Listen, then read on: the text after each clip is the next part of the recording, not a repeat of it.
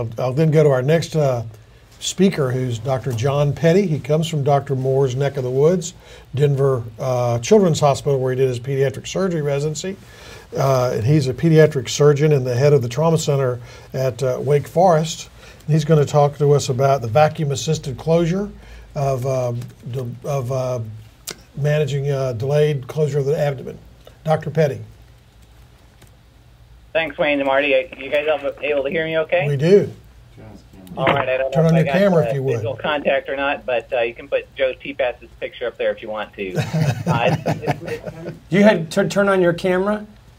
yeah, it's on. I, I can do. It says I can stop sharing or I can. No, no, no. Start Uh, s- s- start my webcam above uh, on the right hand side. On the top. And then start sharing. And then start sharing.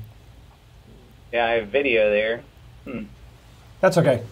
There we go. There's another button in the video. We'll see. Oh, there you go. Okay. And I'm not getting the little arrows to drive the PowerPoint here. so Uh, uh, maybe you guys can advance the slide for me. okay, they should show up, but we'll advance until you see them. We see. Them. All right, I'll. Woo.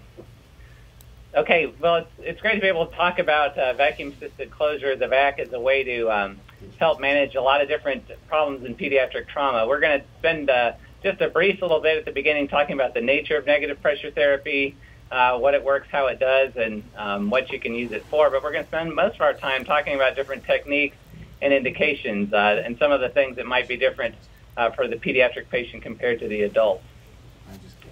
Uh, see, if you can hit the next slide, there we go. So the physicists in the audience will tell us that uh, negative pressure doesn't exist. Pressure is always a positive uh, commodity, uh, but for the rank and file of us, uh, we think of negative pressure as suction or vacuum, and so that's what we mean, applying a low, uh, steady suction to a wound to help promote healing. Uh, the commercially available VAC, VAC has two settings, intermittent or continuous, and actually the basic science on it would suggest that intermittent uh, uh, settings promote granulation tissue faster, but for pediatric patients, I think continuous is a better way to go just because it's better tolerated. And I would say, uh, as uh, emphatically as I could, it's not a substitute for a surgeon or a good surgical judgment. Principles of debridement, infection control, uh, source management, nutrition, fluids, all those things are, are important uh, with or without a VAC. It'll help you manage a wound, but it won't manage it for you. Um, this is a slide of uh, the VAC in action. What does the VAC do? How does it work? Well, it increases blood flow to a wound. Uh, basic science research in this would say that uh, a wound that has a VAC on it has four times as much blood flow as one that doesn't. It promotes the formation of granulation tissue uh, two to three times as much. The uh, electron microscopy down at the bottom of that image shows on the uh, the right panel um, a more physiologically oriented network of uh, vessels on a wound-backed wound. Um, related to bacterial count, not really clear if this actually decreases bacterial count. Animal studies would say yes. The human studies haven't borne it out, but I would say with uh, without hesitation that the VAC um, uh, will help with infection. You can use it in infected wounds, and it certainly will not promote infection. It does manage the wound exudates. Uh, it can you can measure the volume of fluid out from a wound. That's really important, particularly with small children. It's a closed system, so these are no longer really insensible or evaporative losses. And it helps take the edema out of the tissue. This is important as you think about primarily closing a wound in a delayed fashion or even bringing local flaps over to help cover a wound. There are some intriguing possibilities about what the VAC might do in the setting of a sustained uh, systemic inflammatory response. Uh, looking at the effluent from a VAC, particularly in the open abdomen, it's rich in pro- pro-inflammatory cytokines like TNF-alpha. And so it may be that the VAC can help as a sink uh, for uh, pro-inflammatory cytokines that might drive the SIRS. Who knows uh, if that's for, for sure or not, but stay tuned. The other thing a VAC can do for a wound is lower the stage of it, and that just is a way to reference if you're uh, de- dealing with a wound that's ischemic or over bone or other sorts of things that are hard to uh, graft, the wound vac can promote granulation tissue over those. And so a wound that might have previously needed a free flap might be able to be managed with either local advancement flaps or even skin grafting. So it uh, uh, improves the wound stage for definitive closure. Uh, in terms of children, I think it's a great choice for pediatric trauma. I would definitely recommend the continuous therapy uh, for that. Just uh, the, the discomfort of having a vaccine to be when the sponge goes up and down, but once it's set, uh, it's pretty comfortable. I think pain control uh, you're not changing a dressing one, two, three times a day as you are with maybe some other choices for managing a wound, and the children really like this. That can be changed somewhere between two and five days, depending on the circumstances that you're using, and uh, it's simple to care for. Once it's set, um, as long as you keep a seal on it, there's not much more that needs to be done. This is a a real winner both with the nurses and with the families. In the right setting, these can even be taken home. Kids can be up and around walking when they're on extremities. It helps stabilize the wound. In terms of looking towards closure for a wound, it can increase uh, elasticity by taking the edema out. The image is a little kid who got attacked by his neighbor's pit bull, and you can see a big soft tissue defect. And the hope would be that as you get some of the edema out and you clean out the wound, you might be able to primarily close some from the edges and do a smaller graft when it comes time to close. Uh, I mentioned already for uh, for our littlest patients, this can be a good way to go in terms of measuring the amount of fluid that comes out from the wound. It's important for a big wound in a small child um, because these are no longer insensible, and you can give fluid replacement and manage their fluids accordingly. You can use it in infants. The standard pressure setting for most vacs is minus 125. If you're going to use it in infants or neonates, you might drop that to minus 75 um, for that sort of use take the next slide here. There we go. In terms of the technique, um, uh, these are just sort of the different components for using a vac. You begin with your tissue.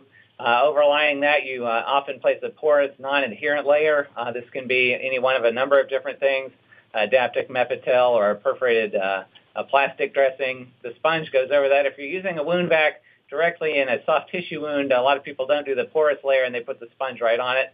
That's certainly fine. Over the top of that goes an occlusive airtight dressing, and the suction comes through that. And that's really all that there is to a vac. I would hope that everyone um, is at least somewhat familiar with this, but if you're not, these can be made from uh, readily available materials at most operating rooms. Um, we'll look at a few uses for it and just how these principles apply. Probably the most, uh, well, one of the most common uh, situations in which we use the vac is in the setting of a burn. Here's a little guy who had a contact burn from a hot muffler took him for excision and then uh, skin grafting. Uh, the next image shows the skin graft that's, that's in place. Um, and over that, you put a porous, non-adherent dressing. In this case, it's uh, Adaptic with a few staples in to uh, keep it from moving around. And then over the top of that, you put the Vac sponge, and then Ioban is the occlusive dressing. Hook it up to the uh, minus 20, 125 suction and leave it in place for whatever your preference is for skin graft, three to five days. And then you take the vac off staples out. And uh, here's an image of what it looks like when, when the uh, vac comes off. The nice thing about this for skin grafts is the vac promotes capillary ingrowth into your graft, so you get uh, hopefully better graft take. And it also protects it from the shear forces during those first few days uh, when the new vessels are growing into the graft. Another uh, common place, uh, and there, here's the skin a couple weeks later. Another common place for using the vac um, is uh, on the extremities, uh, you can use it for circumferential burns. Here's an unfortunate little guy who had an immersion uh, scald burn from child abuse, and the burns go all the way around his feet. The, one of the initial fears with using the vac in these situations would, that it, would be that it would serve as a tourniquet, and that really hasn't borne out. You can use it on uh, hands and feet. It's not a bad idea to watch the cap refill of the toes when you do it, but it can help with skin grafts even in somewhat challenging places. Uh, the budget vac, uh, again, the commercially available vac is nice. There are a lot of advantage, uh, advantages to it, but you don't have to have it in order to take advantage of some of the principles of negative pressure therapy. Uh, again, beginning with your tissue, you can place a porous non-adherent layer, Adaptic Mepitel, perforated uh, plastic dressing. Uh, the sponge, you can use any sort of porous surgical uh, material, Varitech sponges or uh, other sterile foams uh, for the packing material the vac works, it brings everything towards the sponge. And so you want to have something that has some deformability to it to make your wound smaller. And the occlusive dressing, Ioban, Opsite, Tegaderm, uh, and then the suction could be anything uh, that you can connect to a controlled suction like a JP bulb. Probably the best example for this budget sort of low-cost vac is uh, is the abdominal vac, championed by a lot of people, but I think uh, uh, Don Barker at UT Chattanooga has a great series, and these are actually images from his uh, his series. Uh, but it just illustrates the principles of negative pressure therapy for the open abdomen. So uh, you can start with a biodrape or a bowel bag and perforate it with a scalpel, and that serves as your porous, non-adherent layer. Uh, placing that in your open abdomen over the viscera all the way to the gutters on both sides up to the diaphragm and down to the pelvis uh, to keep the sponge from sticking to the underlying viscera. Um, Then you, uh, in place of a sponge, you can use again a lot of different options. This is a sterile surgical towel laid over the uh, the bowel bag, um, and then you inlay your uh, your suction. This is a JP drains are what they used for this series, brought out through separate stab incisions and connected to a Y connector uh, from the bulbs used to uh, get wall suction that you can control for that. Here they are connecting it to the Y connector for that, and then the occlusive dressing goes on top. Uh, when uh, Dr. Barker published his series, he calculated the cost of this to be about $49 uh, in terms of the cost of materials. Uh, most of these things, again, are readily available most operating rooms. So once you've done laparotomy uh, two or three and moved from damage control to definitive uh, treatment, uh, you're still left with the problem of the open abdomen. Can the VAC help you close it? Uh, I think it really can. So here's just an illustration of one way uh, to use that um, to help close the belly. Uh, would be to start uh, with the uh, viscera there. Again, a perforated bowel bag is the next uh, layer. You can see illustrated there at the bottom, there's a big nylon suture in the skin. Uh, you can leave full thickness flaps, skin, subcutaneous tissue, fascia, and muscle all as one while you're, while you're getting to a place uh, where you can close the fascia uh, primarily. And then place the vac sponge over the bowel bag. Um, everything, again, when the vac is uh, activated, pulls toward the sponge. So if you can get the sponge underneath the, uh, the fascia and close skin on top of it, it will help not only with the ascites and the tissue edema, but also begin to pull those flaps toward one another. And here it is with the uh, running nylon. That's in skin only. There's no sutures in the fascia at this point. Closed over the sponge, and then with the uh, suction and occlusive dressing over the top. Uh, you come back a couple days later, uh, take that off, and then you begin to close what fascia you can. Hopefully at this point, a lot of the edema is gone from the uh, tissues and the viscera, and you can start closing the fascia. Close what you can without making it too tight, and then you can replace the same type of dressing the perforated bowel bag, the vac sponge, and closed skin over the top, and then you can uh, go back um, as often as you need to until you can get the fascia closed uh, all the way, uh, and then you're done. So it's a really uh, nice adjunct for management of the open abdomen. In terms of uh, looking forward, what are some new ways to use the vac? When the vac was initially developed, the thought was it ought not be used in infected wounds. And I think there's experience to say that you can safely use it in infected wounds. Uh, you might use an adjunct to help with the infection. Certainly, again, there's no substitute for good surgical judgment in terms of managing the uh, uh, debridement, ischemia, nutrition, or systemic antibiotics. This is a, a silver impregnated nylon uh, that you can put on the wound directly and put the vac sponge over it, and that applies silver to the wound, uh, so you get uh, antimicrobial um, contact with the wound, but you can still improve the blood flow, manage the effluents, and that sort of thing. They also make a silver impregnated sponge that can go in uh, an infected wound. Um, uh, in terms of viscera, uh, they do make a white sponge that has smaller uh, pores in it. Uh, this does not promote granulation tissue uh, uh, quite to the extent that the black sponge does, but it's probably safer to use on viscera, things like enterocutaneous fistulas. I think one of the neatest uh, uses of the VAC is uh, using it over a regenerative tissue matrix. Uh, there are a lot of uh, dermal or sometimes fascial substitutes that you can use. And I think there's good data to say that the VAC helps uh, ingrowth of uh, the native tissues into this much faster. So you get capillary formation and migration of fibroblasts into these um, uh, structures and hopefully become incorporated into native tissues, allowing you to graft over them sooner and have better success. So those are some sort of novel ways to use the VAC.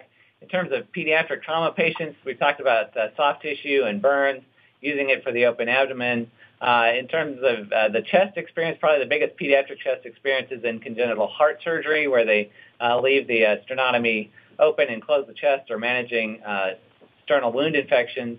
Uh, neonates, here's the little guy with a, a complex abdominal wall defect. Again, it's safe to use in babies, but you might drop the pressure to minus 75. Uh, this is a slide from a, a manuscript that came out earlier this year where they used it on brain. So these were, it was a series of five patients that had complex cranial defects, including a dural defect. And the neurosurgeons uh, used a dural substitute, alloderm or some other uh, dural substitute, put the vac sponge over that and uh, left it in place and actually brought blood flow into the dural substitute from the brain itself and then we're able to skin graft over it. So I think there's a lot of creative thinking going on about what might uh, apply in terms of using the VAC in uh, pediatric or even in adult trauma. So we'll just close with the new concepts. Again, understanding negative pressure therapy, uh, why it does what it does, how it accelerates healing in terms of increasing blood flow, granulation tissue uh, formation, and also downstaging the staging the wound. It's a versatile use. Uh, certainly, it's good for soft tissue wounds that, that can be used for a lot more. And I think it's a great choice for a lot of our uh, pediatric wounds, burns, and other uses. Uh, kids tolerate it real well, and um, there are a lot of benefits to using it in our smallest patients. And I'll look forward to hearing questions from people as we go. Thanks. Dr. Petty, fantastic. Uh, really outstanding summary. Uh, I think that's going to be very useful for many people all over the world, uh, especially the technique of how to put that together. We got a lot of questions for you, so uh, we're going to get to those at the Q&A if you could stick around for the panel session. And you can start on the chat too if you want. You know, start Yeah, chatting. Thanks. Uh,